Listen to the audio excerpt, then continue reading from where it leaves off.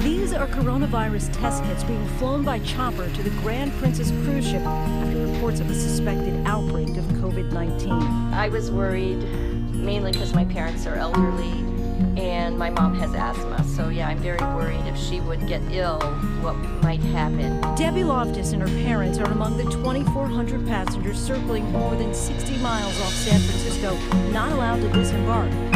Just hours ago, Vice President Mike Pence gave the results. 21 individuals on the Grand Princess tested positive. Among those were 19 crew members and two passengers. Right now, it's just numbing. It- It's trying to process this information and see what their life holds in the next couple of weeks. Passengers now confined to their rooms. All passengers and Those that need to be quarantined will be quarantined. Those that require additional medical attention will receive it. Outside the San Francisco hospital, we're setting up tents to handle any overflow coronavirus patients as the virus wreaks havoc across the country. In the United States, there are hundreds of cases in at least 26 states with at least 17 deaths. Daily life has been disrupted. The wildly popular Austin Festival South by Southwest now canceled, with dozens of other large gatherings. And now a wave of school closures. Classes are canceled here. That means no classes, no practices, no after school activities. And Many employees are being told to work from home,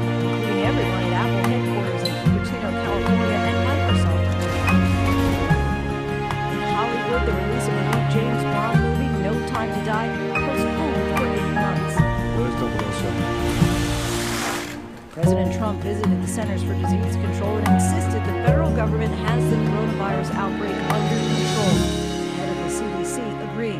At the present time, the general risk to the American public remains low. The hardest hit area is Washington state, where there have been more than 80 cases and at least 14 deaths.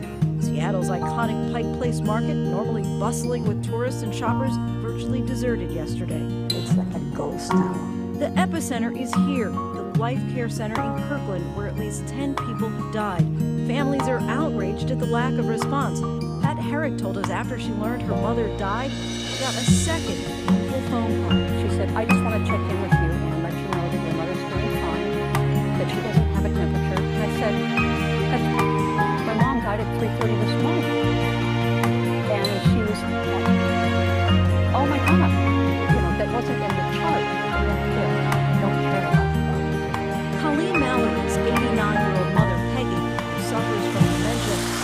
room with one of the patients who died from the virus and hasn't been tested for the virus since LifeCare says she doesn't have symptoms. We're here at the epicenter, and I feel like everyone is in panic mode. I think we feel like we're in a black hole here. Tonight, for the first time, we're hearing from a resident inside. Susan Haley has a cough and is waiting for test results. Do I want to leave? Yes, absolutely yes. It's not that the people aren't nice. It's that I don't like being trapped. Help for the beleaguered facility is now on the way. Officials there announcing that a team of 30 federal health professionals are being sent. This is like a flu on steroids. On the other side of the country, the virus is quickly spreading in the New York City area. I'm not urging calm, I'm urging reality.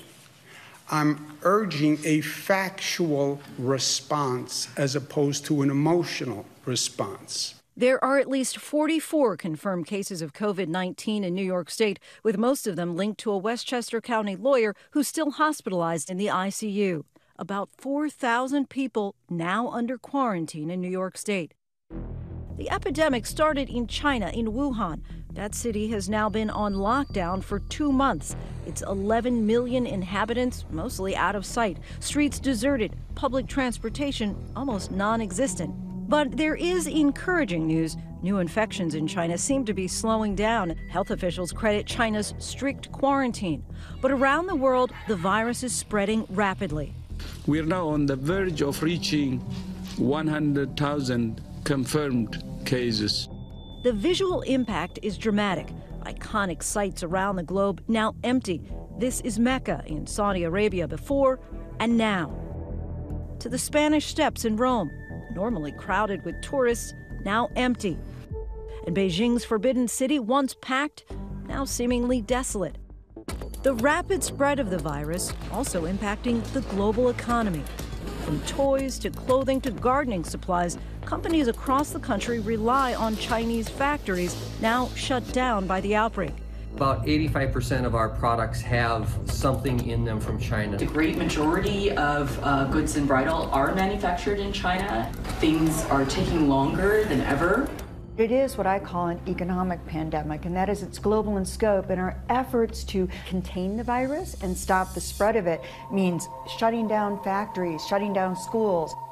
The consequences have been devastating, especially for travel. The airlines anticipating losses of more than $113 billion in sales as travel and hotel bookings plunge. Uncertain times are driving some to extreme measures. Austin based Mira Safety says their military grade gas masks and hazmat suits are in high demand. Regular people who are looking for ways to protect themselves in case this becomes a much bigger threat. The reality we don't need gas masks.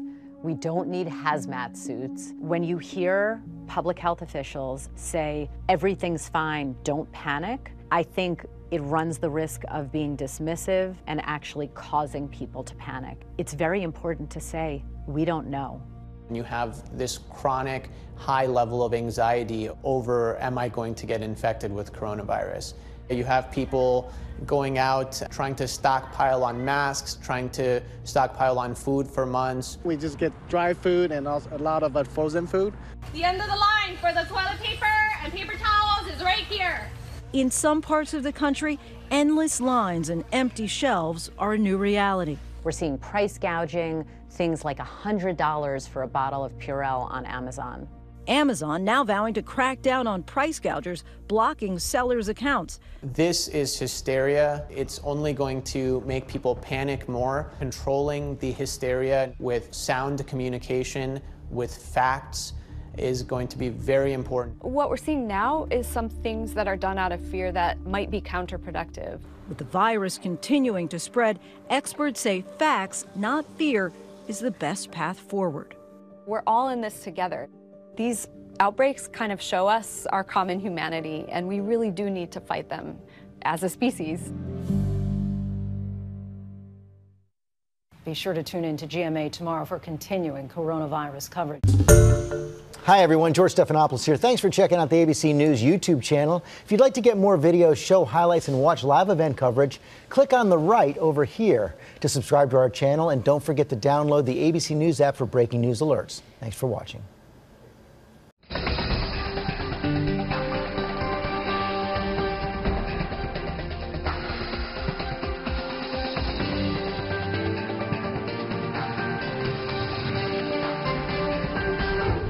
On today's World Insight, South Korea's defense ministry says the DPRK has launched two unidentified projectiles off its eastern coast. What does it signal?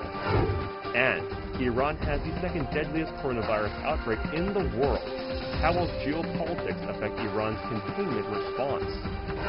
And finally, the scientific community scrambles to find a drug that can cure patients sickened by the new coronavirus. What treatments are in the pipeline?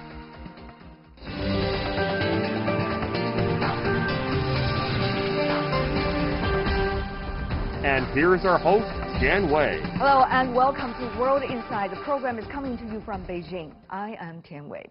Let's start with the latest situation on coronavirus in Iran. The country is reporting over 1,500 confirmed cases with dozens of fatalities, making it the worst hit country in the Middle East. Some top Iranian officials were also infected.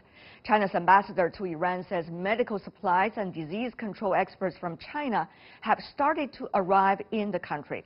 Before we get down to the discussion, let's take a look at this. COVID-19 is spreading rapidly in Iran. Iran said Monday that the novel coronavirus had killed 12 more people, raising the country's overall death toll to 66, which is the highest number outside China.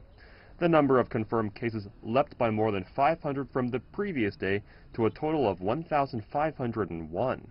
Several officials, including the Iranian deputy health minister, one of the country's vice presidents, and the head of the Security and Foreign Affairs Committee are among those who tested positive. I would like to inform you that I have been infected with the coronavirus. I had a fever yesterday. My first test was positive last night, and I have isolated myself. They informed me a few minutes ago that my final test definitely is positive.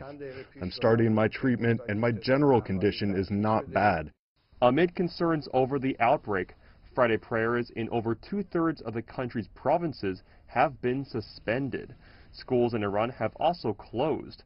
Earlier, the Iranian Health Ministry warned of a relatively difficult week ahead, saying the main peak of the disease is this week and in the coming days.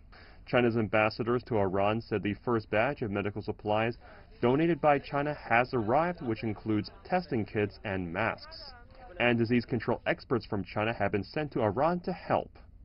Iran also received medical supplies from the World Health Organization.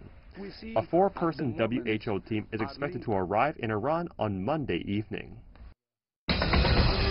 For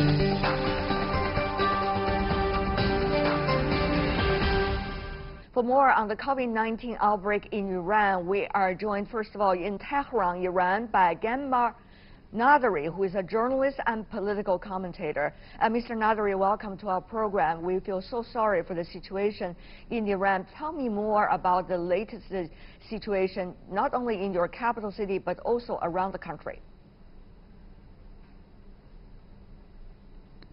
Well, the country is struggling at the moment. As you know, schools, universities, and cultural centers, including major events, have been, uh, have been cancelled or shut down. Uh, the, the transport system has been hit the hardest. The small business community has been hit the hardest, especially given the fact that we are very close to the Iranian New Year uh, uh in, in uh, late March, in, in, in, in March 21. So, so the business is down, the mood is down, but of course, as as you know, the officials are working round the clock to contain the virus. We know that about 1,000 people have been affected so far, but the number is going to be bigger than that because these numbers belong to last week and the, the tests that, that were carried out last week. So, so expect a, a, higher number of deaths and, of course, those who have been infected uh, over the next few days or so. But, but the government, the armed forces, the IRGC are also helping the health ministry officials and the, our top doctors and nurses resources uh, uh, in order to bring the situation under control. Okay. This is the peak week of the, the, the virus infection. Uh, I think it's going to be much, much bigger over the next few days. Hmm. Mr. Naderi, tell me more about, first of all, the politicians inside your country, the vice president, the vice minister of health, together with several political leaders uh, who claim that they actually was infected when they were at the parliament sessions. Uh, what it is their latest situations uh? I think people, uh, the authorities should, should come to their senses and realize that this is a serious situation. We need them to show some seriousness about the situation, and at the mm. same time, we need them to take responsibility. But how on earth are they going to, to show their responsibilities when they themselves have been infected? That mm. is the hard question that many people are asking here in the capital, Tehran, that has slowly become a ghost town. Many people are refusing to leave their houses. Many schools, uh, as I told you, public places have been closed. We yeah. don't see any kids on the streets anymore. The, the, the, the, transport system has been hit the hardest. But, but as I told you, we need our officials to, to show that they are taking the situation seriously. If yeah. they don't, I don't think others are going to do the same thing. Mm. Uh, what about the, the, Revolutionary Guards? We understand the, the latest news is the Revolutionary Guards are now in the streets of Tehran, and they are uh, taking advantage of uh, the, some of the equipments they could use uh, during a, a, a, chemical warfare. In fact, the vehicles and also the equipment uh, uh, in order to maintain uh, the order in the streets and also to try to kill the virus as they believe. Meanwhile, you also have the uh, ordinary uh, military people on the streets as well. What is the, you know, the division of labors there in your uh, newly updated system to fight the virus? Could you give us a bigger picture? What exactly is the structure, the mechanism? Well, uh, the, the, medical community of this country is not prepared and ready uh, to, to, to take up so much pressure when it comes to the containment and, and, and the, the, the cure of the, those who have been affected. We are talking about many provinces and cities and towns. Until yesterday, we had the, the city of Qom as the epicenter, but now it is the capital, Tehran. Obviously, uh, the, the situation has got out of control uh, uh, of the health ministry officials and, and, and the medical community. That's why the armed forces, the IRGC and the police are also taking matters into their own hands and are helping uh, other responsible authorities in order to disinfect the affected areas in the capital and uh, beyond. But, but this is not enough. I think we also need the help of the international community. So far, China has been the first to help us, and, and, of, and of, course the World Health Organization. But mm. when it comes to Europe, I haven't seen any help yet. Uh, uh, Mr. Naderi, you brought up a very important question. That is, uh, what about Iran under this very extreme circumstances? What's going to happen from the rest of the world?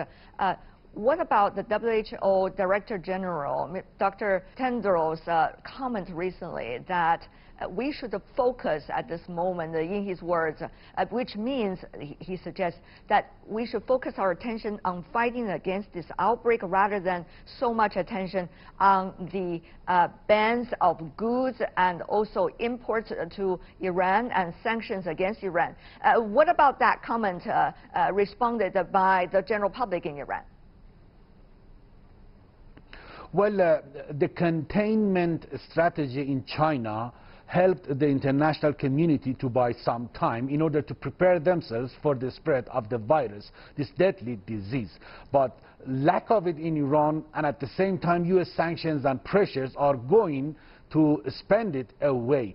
So, so authorities uh, uh, of the World Health Organization are uh, completely right to say that Iran needs to see some sanctions lifted, especially when it comes to the, to the purchase of medical equipment, mm -hmm. face masks, and of course uh, sa sanitary items. So far, America refuses to do that. I think the American government, the Trump administration officials should come to their senses and realize that if Iran becomes the next Wuhan, the next epicenter of the, the virus, I'm afraid they are going to be affected too. Their economies are also going to go down, just as the way Iran's local economy has gone down okay. so far. So they shouldn't think that this is a political issue. They, they shouldn't look at, uh, at their you know, foreign policy as a hostile policy towards Iran. Right now we are talking about public health.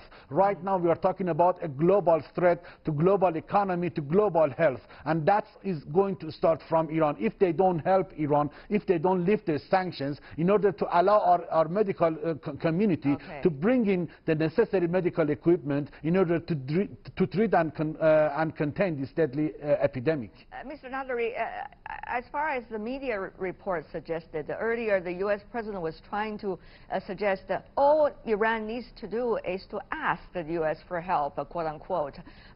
is Iran going to do that? And what do you make of, I mean, Tehran, you're not representing the government, but what people think about those so-called offer of help uh, from your perspective?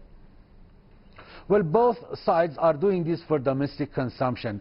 From here, they want to show themselves tough to the ordinary Iranians. On the other side, the, the, the Trump administration officials are, are, trying to tell their voters, look, we are trying to help the Iranian government and, and, the people of Iran. We are not targeting the ordinary Iranians. So they are also doing it for domestic consumption. But at the end of the day, I, need, I think we need cooler heads cooler heads on both sides. I think that these two sides should come to their senses. They, they have no right to play with the well-being and, and, and, and of, the, of the ordinary citizens. Mm -hmm. Public health. They should put aside their differences for the time being, at least for a, for a period of two or three months, and okay. lift the sanctions regime. And on the part of Iran to ask for help from the international community, including the U.S., in order to bring the situation under control. Yeah. After that, they are free to do whatever they want to do. Uh, Mr. Naderi, I understand your journalists are very passionate about your people. Let me ask you this. Uh, uh, the U.S. president was also earlier suggesting, oh, we have the best doctors, uh, and therefore we can send in the doctors. But the question really is, what does Iran need now? Is it about the test kits? Is it about medical supply? Or is it about a bunch of doctors? What uh, do, does Iran need now? Uh, from your reporting around Tehran and other cities, what is the latest situation?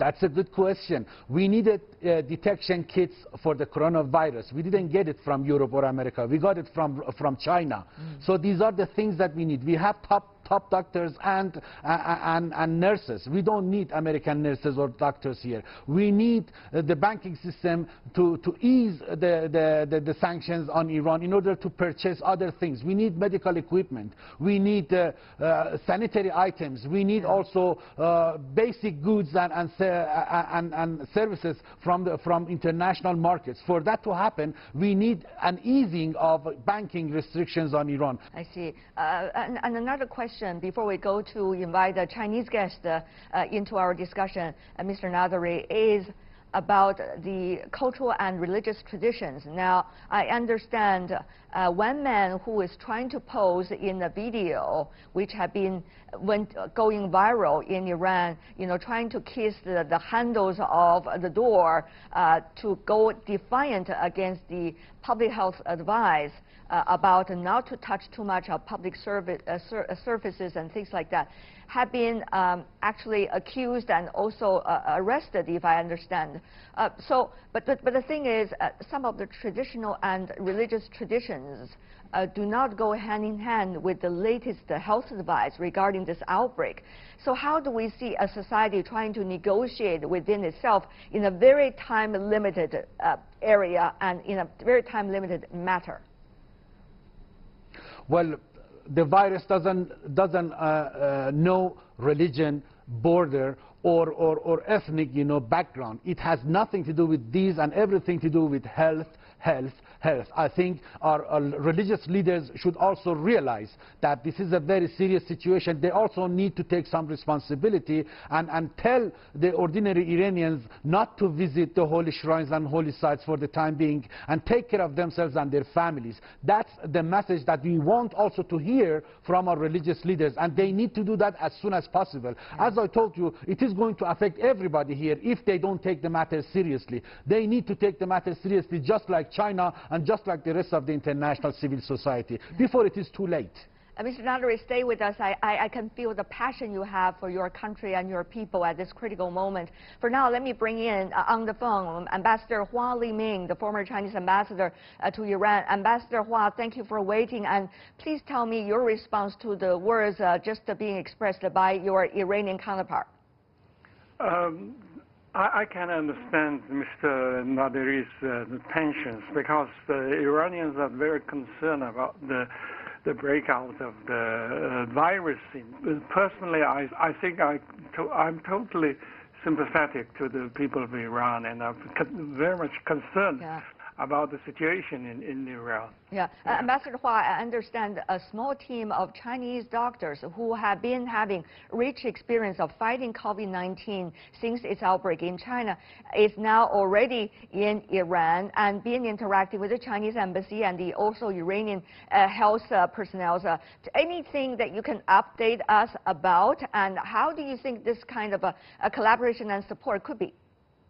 You see, China and Iran are strategic partners, and a very good strategic partners relationship has been established uh, four and five years before. And uh, I remember uh, one month before when the breakout in China's Wuhan, uh, Iranian Foreign Minister Mr. Javad Zarif were among the first foreign ministers who called the Chinese Foreign Minister to uh, express their uh, sympathy and their support uh, to China. And the, the same the, same thing last Friday, Mr. Wang Yi, Minister of Foreign Affairs of China, called uh, Javad Zarif and uh, expressed China's sympathy and China's support for, for Iranians and announced that China will send uh, 15,000 testing kits to, to Iran and send some personnel to to Iran for consultations. Mm. Uh, I think that the four people now are in, in Iran. They are, um, they, although they are not working in the site, but they are giving very good consultations to our Iranian because uh, these people have very good experience in Wuhan. Mm. Uh, Ambassador Hua, we also noticed that Iran was one of the very first countries which sent uh, face masks to China during the very early stage of China's outbreak of COVID-19 and certainly demonstrated their friendship toward China. Now, is this uh, offer from China a return of friendship or is this uh, a continuity of uh, China's engagement with Iran? And how is this uh, also interact with other common interests that the two countries have? for example, economic interest, uh, for example, energy interest, uh, Ambassador Hua? Uh, of course, and China, uh, I think the whole nation of China is very to, uh, sympathetic, and China can share uh, her experience in Wuhan mm. with Iran when the the the, the problem the, the, the virus breakouts in in the cities of Iran. Yeah, Ambassador Hua, we have very limited time, but as a seasoned analyst. Uh, looking at the latest situation in Iran for a long time, uh, what would you suggest the international community to do, China included, of course, in this, uh, to help and support Iran to go through this very difficult time? I mean, the Iranian people, of course, we're talking about here. I think COVID-19 is a global disaster, and uh, no nation in the world can, could be immune mm. from the, this, uh, this, disaster.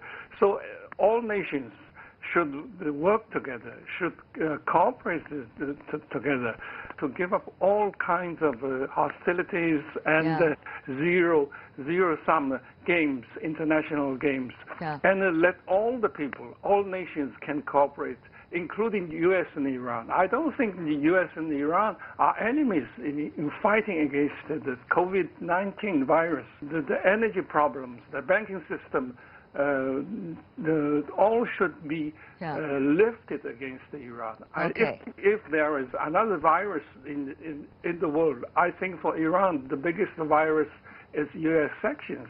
The sanctions should be lifted against Iran. Mm. And also, we want to invite back uh, Mr. Naderi, who's been listening. Your final words, sir, before we wrap up. Well, ju just as the way uh, the Iranians stood behind their, their Chinese counterparts in their darkest hours about one month ago. Now the Chinese uh, people and the government are standing behind Iran. This is a huge relief for the Iranian community, for ordinary Iranians, and, and from the bottom of my heart and on behalf of millions of Iranians here, I would like to extend my gratitude and thank you to each and every one of you uh, back in China, especially the government okay. and especially the embassy of China here that worked around the clock in order to, to uh, import those detection kits to the capital and send, send, of course, medical staff to Iran to help with, with their experiences with us in order to contain the virus. So thank you very much. Well, thank you also very much, uh, Mr. Naderi. And also our, car, our, hearts, of course, goes to the people in Iran. This is a global fight, so we all need to be together, not just China and Iran, but everybody on this earth. Uh, this is not a slogan, it's a reality. Thank you so much, uh, uh, Ghanbar in Iran, and earlier on the phone, Ambassador Hua Liming.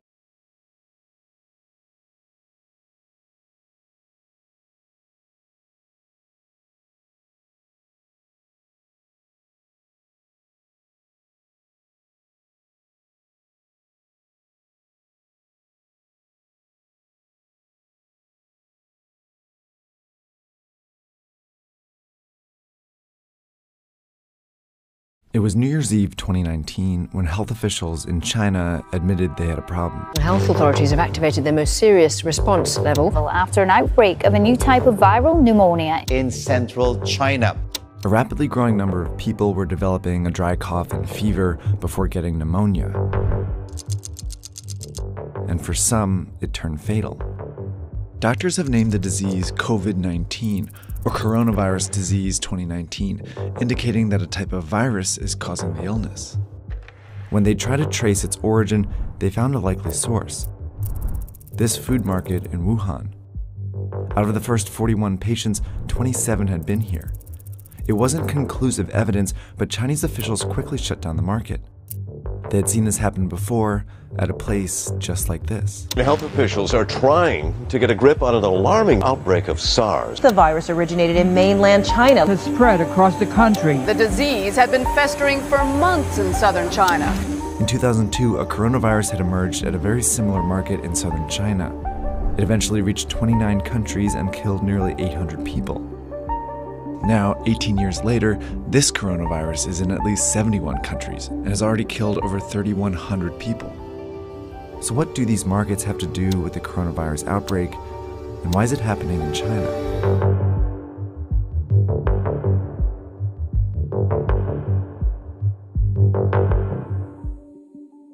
A lot of the viruses that make us sick actually originate in animals.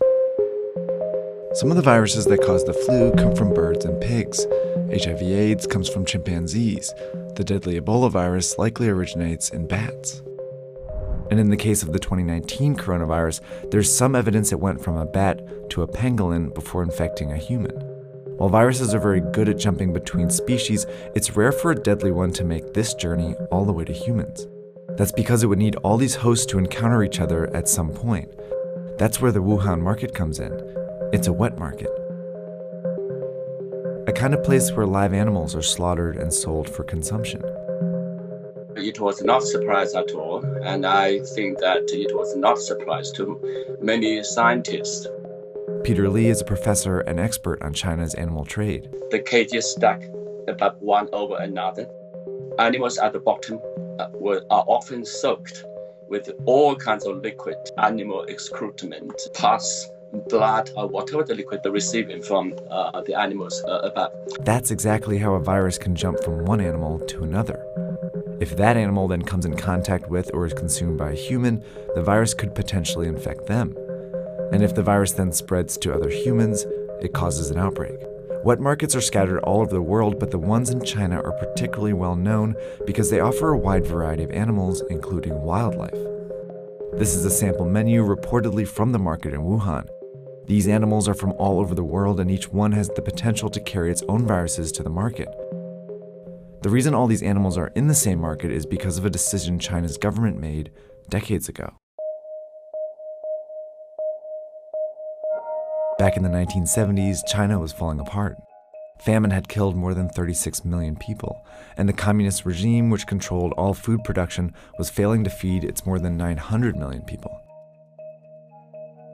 In 1978, on the verge of collapse, the regime gave up this control and allowed private farming.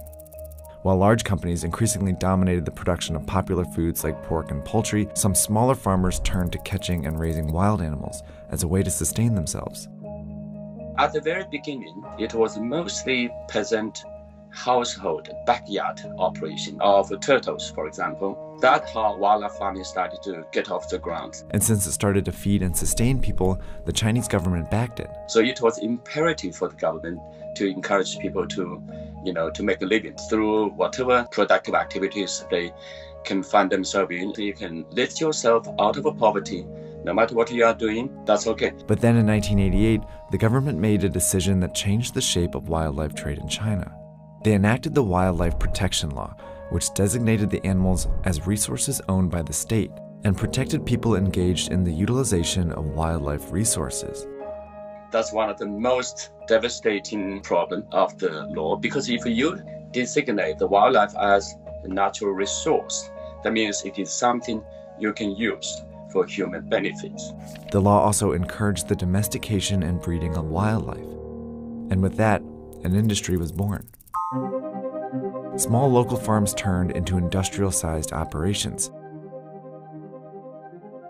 For example, this bear farm started with just three and eventually grew to more than a thousand bears. Bigger populations meant greater chances that a sick animal could spread disease. Farmers were also raising a wide variety of animals, which meant more viruses on the farms. Nonetheless, these animals were funneled into the wet markets for profit. While this legal wildlife farming industry started booming, it simultaneously provided cover for an illegal wildlife industry. Endangered animals like tigers, rhinoceroses, and pangolins were trafficked into China. By the early 2000s, these markets were teeming with wild animals when the inevitable happened. The latest on the deadly SARS virus, the worldwide death toll up again today. China has reported more than 1,400 cases of infection nationwide. It is what health officials have feared all along. In 2003, the SARS outbreak was traced to a wet market here in southern China. Scientists found traces of the virus in farmed civet cats. Chinese officials quickly shut down the markets and banned wildlife farming. But just a few months after the outbreak, the Chinese government declared 54 species of wildlife animals, including civet cats, legal to farm again. By 2004, the wildlife farming industry was worth an estimated 100 billion yuan, and it exerted significant influence over the Chinese government. Wildlife farming industry was tiny in China's gigantic GDP, but the industry has enormous lobbying capability. It's because of this influence that the Chinese government has allowed these markets to grow over the years. In 2016, for example, the government sanctioned the farming of some endangered species like tigers and pangolins. By 2018, the wildlife industry had grown to 148 billion yuan and had developed clever marketing tactics to keep the markets around. The industry has been promoting you know these wildlife animals as you know tonic products as you know bodybuilding as sex enhancing and of course as disease fighting none of the claims can hold water Yet these products became popular with an influential portion of China's population. The majority of the people in China do not uh, eat wildlife animals. Those people who consume these wildlife animals are the rich and the powerful. A small minority. It's this minority that the Chinese government chose to favor over the safety of the rest of its population. These parochial commercial interests of small number wildlife eaters are hijacking China's national interest. Soon after the coronavirus outbreak, the Chinese government shut down thousands of wet markets and temporarily banned wildlife trade again. Organizations around the world have been urging China to make the ban permanent. Chinese social media, in particular, has been flooded with petitions to ban it for good this time. In response, China is reportedly amending the wildlife protection law that encouraged wildlife farming decades ago. But unless these actions lead to a permanent ban on wildlife farming, outbreaks like this one are bound to happen again.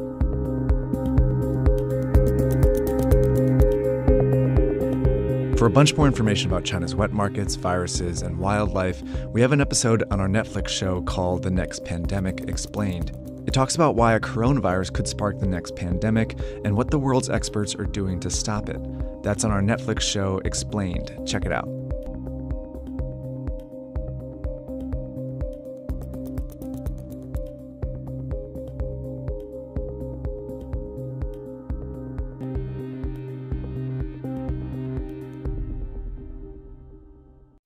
An Iranian politician has died after contracting the coronavirus as health authorities there reported 21 new deaths over the past 24 hours. It brings the total number of fatalities in Iran to 145, while nearly 6,000 infections have been confirmed across the country.